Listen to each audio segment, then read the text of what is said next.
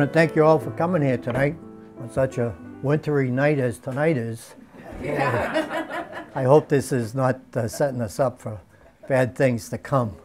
But uh, tonight I want to try to share with you uh, um, everything I know, all the knowledge I have of this man, Samuel Boyd, and why he's characterized as the father of our city. And I think after the presentation, you'll probably, I hope, end up agreeing with me that he is indeed the father of our city when you see everything that I have to say. All right, let's get into uh, why is this man called the father of our city?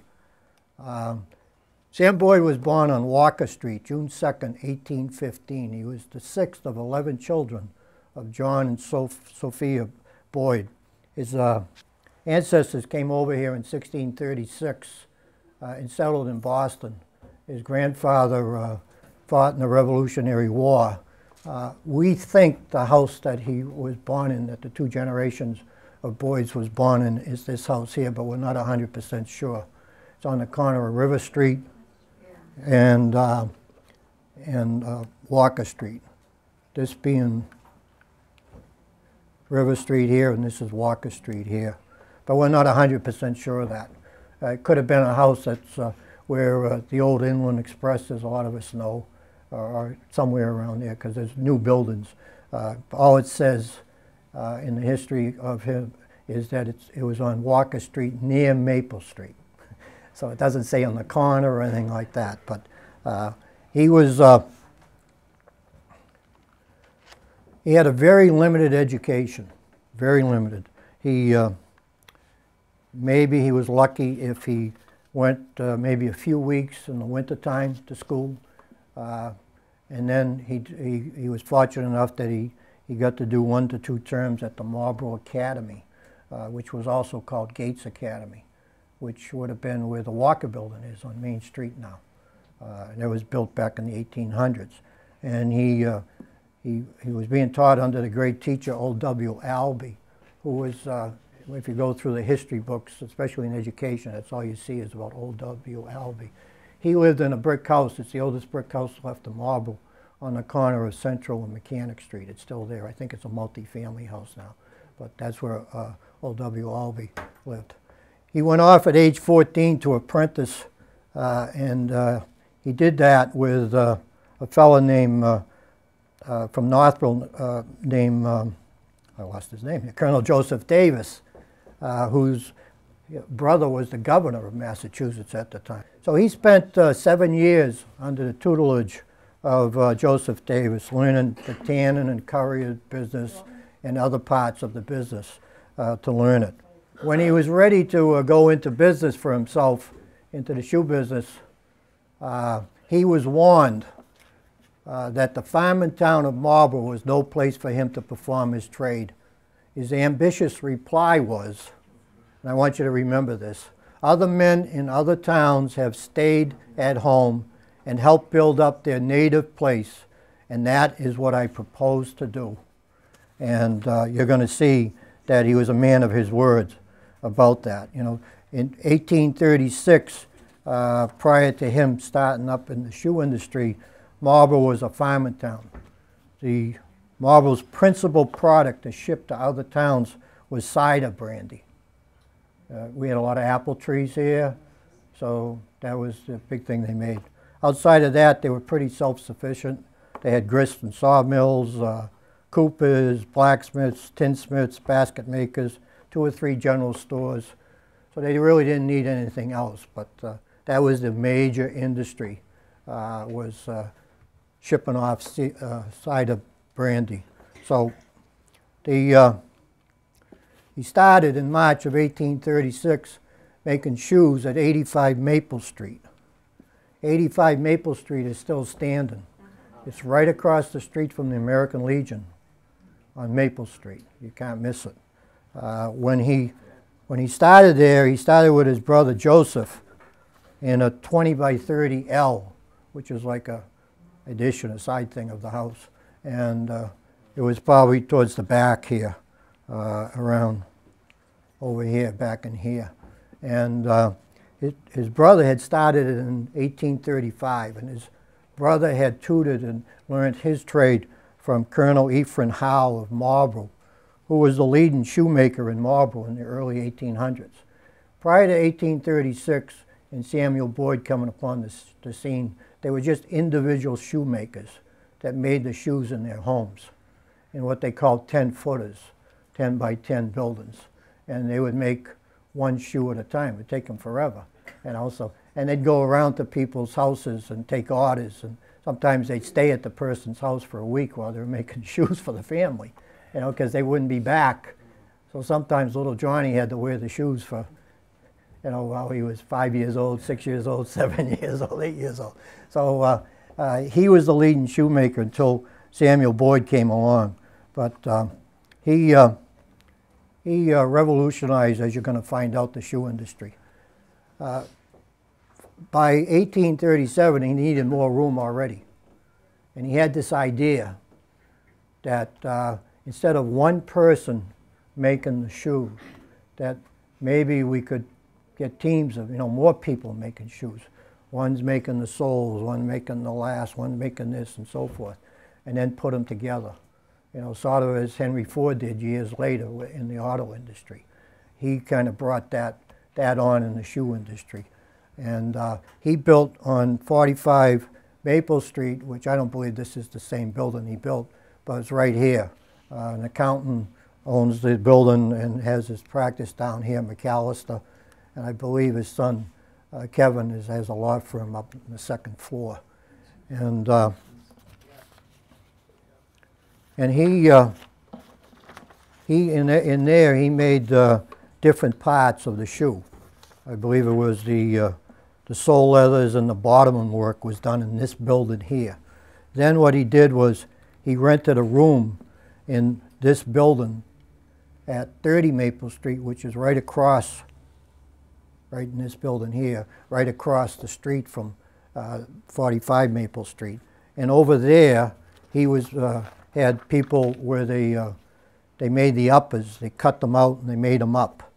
And then he took those and brought them back to his original place on Maple Street and put the shoes together, had people to put them together. So um, you could see how he started the mass production of shoes uh, at an early, early stage. Joseph, his brother, retired in 1839 and moved to St. Louis. Now, Joseph, in all the history book things I've read about Joseph, was a very small man in stature, same as Sam Boyd, but Sam was a little bit taller than him but he was barely over four feet tall. Joseph was. But uh, Sam, Sam was a little man. They talk about him in different times as for a small man. He had such a large heart and a large brain and so forth, things like that. So uh, maybe it was just the family were, were just all small like that, but I'm not sure. He moved to St. Louis because he wanted to, that was the outpost at the time, and he wanted to find out what was going on there and other parts and down south. He traveled all around trying to find out what needs were in the shoe industry. So he would know that. So it was very important. His brother John in 1841 joined uh, Samuel in, uh, in, partners, in a partnership. In 1842, John invents the shoe die, which really gave an upper edge to Sam Boyd and to the shoe industry in general in Marlborough because no one else had the die. The die, you see it right up here. There's a couple of them on the table up here you can look at after. They used to cut out the patterns and everything. And it was very quick. They just take a big mallet hand, hammer and bang over the, the leather and cut it right out. And that really, and it got to be more uniform than doing it by hand, trying to cut it out by hand. So uh, that gave them a real upper edge. So between mass production, the shoe die, he really had the upper edge on a lot of other shoe factories and a lot of other communities. Now, you got to remember back then uh, they were start, just starting up in Milford, in Lynn, in Haverhill. They were, the shoe industry was starting up too. So uh, he needed more room then because of all what was happening. So uh, he built what's called the uh, Common Shop. You're going to be shocked when you see where this was. John Rose Funeral Home. That's why they call it the Commons Shop because it was right next to the Commons down in front of the First Church. And uh, So he moved into there because uh, they were so busy. He had the others that he kept going though too. So he, uh, Joseph returned and took the place of John. He did have numer- he had uh, other brothers that would work there every so often, but uh, John played an important part because John, as I said, invented the shoe die, which gave him a big uh, uh, advantage, and uh, so he played a big part of it. But Joseph now returned, you know, and to, from learning everything from being out west, down south, traveling around the country, what the people's needs were, and so forth. So he brought all this information back with him. So he played a very important role in that. Uh, in 1849, he partnered with Thomas Corey and built the Corey shop, the corner shop, I'm sorry, on Maple Street, which became Boyd and Corey. There it is right there. You would know it today as a laundromat. All right? This is Maple Street over here, and this is Main Street right here. And there's a laundromat there right now. It used to be a gas station. That was the first Boyd and Corey shop with the two of them in business.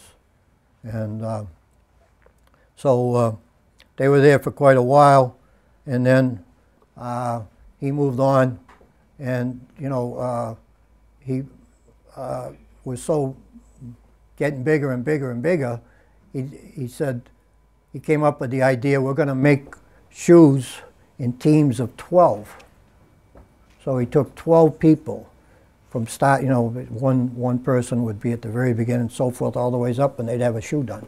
So instead of waiting a week to have a pair of shoes done, they were pouring out pairs of shoes like you can't believe every day in their teams of 12 in all their different factories.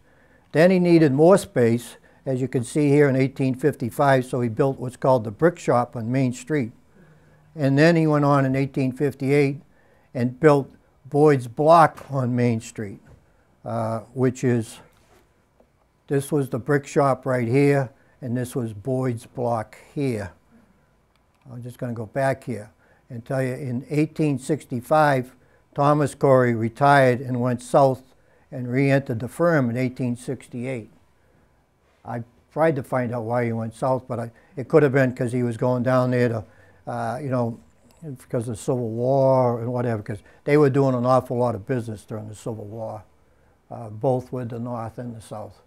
A lot of the shoe firms up here weren't supposed to be doing business with the South, but money won, out over that in a lot of cases, and they were. So uh, then in 1866, they needed more room. He built a 40-foot connection to join the two buildings together where today's Corey building stands. So he built this 40-foot connection.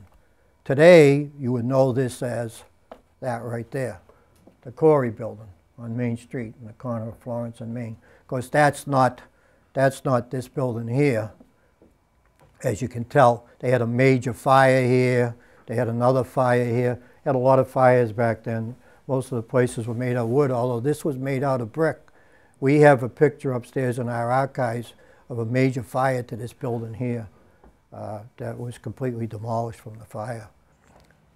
Even that wasn't big enough. he kept, they kept getting bigger and bigger and bigger. So he built a large factory at the corner of Howe and Main Streets, which eventually became the largest in the country. There it is right there. It was, uh, there were five floors, one, two, three, four, and the basement, which was kind of exposed on Howe Street. Howe Street was over here, and this was Main. This is Bolton Street right here, and the fire station would have been, it wasn't built then, but it would have been built right here in the early 1900s. So next picture is kind of blurry. It's an old, old, old picture that Joan Abshire found, and uh, tried to get it to come out as good as possible, but we weren't able to. It's taken from the top of Town Hall, the old Town Hall that, that burnt down, and, uh, uh, and then we had to build the City Hall. But uh, it's kind of blurry, but it gives you a side view from the Town Hall clock. This is looking down like that. This would have been Howe Street down here. So it's additions, and it kept going back and back and back. So it was the, uh, back then, it was the largest uh, shoe factory uh, in the country. It had uh, about 50,000 square feet. Today, that's nothing. But back then, it was a lot. It was a lot. And uh, this is where today, this is Chin's Garden here, and this is the parking lot here. This is where the building was, right here, right there, to give you an idea. They were so successful, uh, the, Boyd and Corey, that uh, even the Japanese got wind of them. and they got visited on August 5th, 1872, by the Japanese embassy from Washington to visit the, the factory to view the efficiency of producing shoes in volume. Because all around the world, they weren't mass producing shoes. It was still being made by one person here, one person there, but it wasn't being mass produced. So they came all the ways up to take a look and, uh, and they paid a visit. They, they spent most of the day there in August 5th, 1872. Unfortunately, in 1874, Thomas Corey, his partner, died, uh, which was must have been a sad day for him.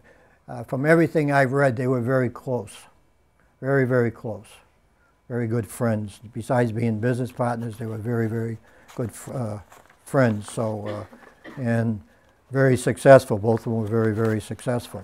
So uh, that must have been very hard on Samuel Boyd when that happened. But uh, it's um, he carried on. He carried on the business and left the name Boyd and Corey. He didn't take Corey's name out of it after Thomas Corey died, but he kept kept going kept it going as Boyd and Corey. Just to give you some statistics, when he started business in 1836, the population of Marlborough was around 1,800. That also included Hudson. Hudson was part of Marlborough then. All right? In 1855, it grew to 4288, 19 years after he started. You know, when he first started, they were making uh, children's shoes. Most of the early shoemaking was children's shoes, which you'll see some up here on the table. We have some uh, that have been donated to us. You can take a look after, at them after. And uh, in 18, you know, it was closer to around the 1860s when they started producing boots and, and uh, adult shoes and so forth. The population grew to 5,810. 1866, when Hudson was established, it lost 1,800 of its people. By 1890, when Marlborough became a city, it had grown to 13,000 people. And that was because of the Boyd starting the shoe industry. And everybody else, a lot of people that worked for them, they went and they started up their own factories.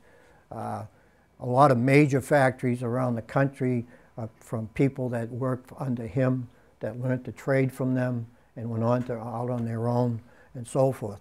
But you can see how fast it grew in, in 64, in 54 years. You know, it was one of the major reasons why Marlborough became a city in 1890, because of the growth of it, because of how busy it became. You know, and you know, back then being a city was uh, meant a little bit more than a town, you know, and so forth. So, uh, you know, so it played a vital, vital importance, uh, in, in importance in in us becoming a city. In 1845, the total values of shoes produced was only 92,000, almost $93,000. By 1890, the total produced at his factory alone was a $1,500,000. Now that's in 1890. So that's 122 years ago. So equated in today's figures, that would be quite a bit. That would be up in hundreds of millions. In 1875, the average capital invested in value of product per establishment, Marlborough outstripped the much larger towns of Lynn and Haverhill by far, by far. They had more people working in the shoe industry, but they didn't, they didn't have them in teams and so forth. They weren't mass producing like we were. They were, uh, you know, they were bigger than us. They had more shoe factories than us, but they had less people working in them. They hadn't got that together. They didn't have the shoe die that his brother had invented and so forth. So he, they, we really had the upper edge on these, on these uh, other, other communities that, be, that were big shoe producing communities. You know, they were, you know, uh, Milford, Lynn, Brockton, Haverhill, Marlborough. We were all the, some of the major shoe producers in the Northeast, and then others like in uh, where there was rivers and so forth, like Lawrence and those places. They were more into mills, you know, cotton and, and things like that. So, uh, but we outstripped them all by far. I can't uh, really by far. As I stated earlier, in 1879, it was reported that the largest shoe factory in the country was the Boyd and Corey factory on Main Street. So even though it was only 50,000 square feet, it still was the largest in the country. So uh, that's quite, a, quite an accomplishment. He really believed in giving back to the city, to the city of Marlborough. So his factory office was a accountant office or savings bank for the town up until the Marlborough Savings Bank was founded in 1860. So he was acting like the, the bank for the town, for the town government, for everybody. He was, his office was the accountant office and the savings bank combined. He promoted and financed the agricultural branch, branch railroad. This is quite a story. It started at Marlborough Junction. If none of you know where Marlborough Junction is, it's down at the Marlborough Southborough line, uh, down by the old Trotton Park, yeah. all right, down there uh, is a junction. It, it, the rail goes off to Westboro there, but it used to come right up, uh, right into downtown Marlborough, right behind where the uh, Savings Bank was on the corner of Main and, and Florence Street, right behind there. It came up to there.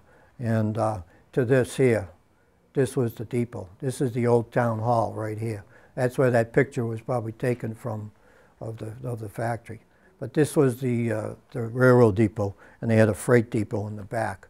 He had to go through quite a bit to get that uh, done because the politicians in Boston that represented Haverhill and Lynn and all these other places was trying to block him because that was the one advantage they had over him, over Marlborough, was they had easier way to ship to Boston, to ship their goods out because everything got shipped into Boston to get shipped to down south, out west, wherever, overseas, wherever it was going. So they were tying them, tying them up to every what way. You know what Sam Boyd did?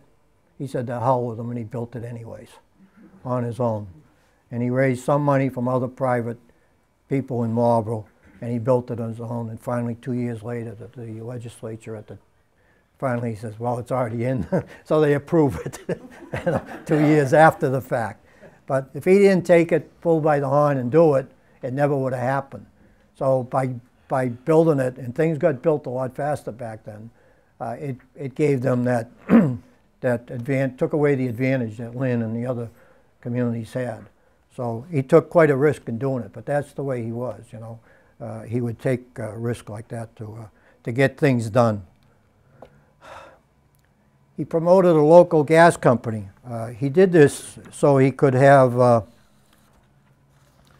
for his factory, to light his factory, the gas lights and so forth. Also for sale, he was a real entrepreneur, this man, for sale to the general public. Unfortunately, the first two years into it was a new thing. Uh, his barn, which you'll see a picture of later, burned to the ground. his own barn.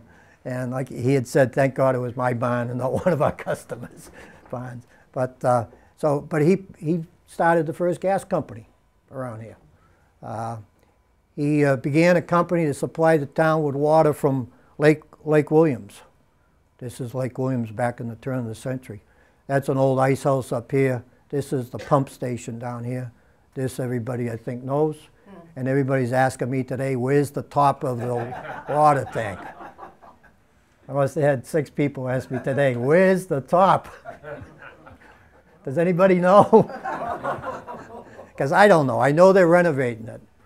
I think it's about a three quarters of a million dollar renovation to it that they're working on. So they probably disassembled it to do something and putting it back up. Uh, and uh, this would, would be where the courthouse is today, right here, is where the courthouse would be, right, right, well, more like right there today. So he started it four years later to finally to select, he ran his own private water company and started putting in the pipes and all that. Of course, there were wooden pipes back then, but uh, finally, the selectmen voted, hey, this is a pretty good idea. Maybe the town should be running it. And they voted, and he just gave it, what he had done, over to them, and they took over the, the water, the water uh, system in Marlborough. Um, he er- erected an indoor skating rink on Fairmont Street, right behind, would be right behind where the Masonic building is today. It would have been right behind that. And he built this skating rink for the pleasure of people. It didn't last too long, maybe two years, and it kind of, the fad died off, and he made it into a public hall where they had public meetings and things like that. And then uh, he sold it to a good friend of his, uh, someone named F.W. Riley, who was like a conductor, music, into music and so forth. And he started Marlboro's first theater. So it was the first Marlboro theater there. And uh, long gone, of course, got torn down many, many, many years ago. One of his biggest feats that he ever did was build the Electric Street Railway. He really thought that he had built the first in the country when he built it, only to find out that he got beat by two weeks by, um, it's still kind of unclear whether it was Baltimore or Richmond, Virginia. But uh, he, he got beat anyways. And he was the second electric uh, uh, trolley system in the country. And uh, there you can see a trolley going up Main Street around the turn of the century here. Right there. They had rebuilt the depot. You saw a picture of the old old depot. They tore it down and built this new depot. And there's the Corey building. So this is in the early 1900s because this got built in the, right around the turn of the century. And uh, this here was the Princess Theater. And this building right here, you can just barely see, is the building the big fire last year that burnt down to the ground. The big fire, everyone remembers that fire. So uh, that, the trolley system started from Marlborough Junction, which I showed you earlier, where the train, trains came from, and came up Maple Street. On Maple Street, where the fire station, today's fire station is, was the, one of the car barns. You had a car barn there for the uh, that the uh, trolleys would go in to get fixed, uh, turn around and repairs and stuff like that. He also had one across the street later on uh, where McDonald's is basically, that, base, that area, general area. He also built one there. A big, big house on the corner of, uh, of uh, Madison Street and Maple, a big house, as his uh, foreman that ran the, the trolley system. That was for him. He built a lot of big houses for his foremen of the factories. A lot of big houses you see in Marble uh, are, are, just that, that the, uh, the shoe uh, uh, barons built them for their, their foremans. The foremans made good money. The people worked in the factories didn't make good money, but the foremans made good money. So it came up Maple Street to Main. The first, first route was, and then up Main Street. And they had, a, they had um, turnoffs, like, so in case the trolley was coming down and this was going up, this could, they had, it, they had them set apart a different distance. So this one could go over here to the right and the other one could pass and then that one would come back out onto the track and go on its way. And then it went up by Monument Square, up Mechanic to Lincoln, took a left on Lincoln, and at the time, the first time it opened, went up to Pleasant, took a left on Pleasant, down to West Main, took a left at West Main, back down the Monument, back down Main Street, and the same thing. Then he did add on he uh, went farther up Lincoln to Broad, took a left on Broad down to West Main, and then a left down, down West Main, and also had a spur that went up East Main Street. The main reason he built that was that the workers could get to work on time, which was important to him. Plus, they didn't have much time to eat, and a lot of them uh, had to bring uh, pail buckets and things like that to eat and didn't, you know, a lot of them were complaining they couldn't go home to eat and so forth. Well, they could hop on the trolley for a penny, and maybe they lived up on Broad Street, and they worked at his big factory down there right across from the fire station, and they could go up there, have a meal, and come back down, and maybe, I don't know what they got for, maybe a half hour, 45 minutes for lunch, and be able to do that.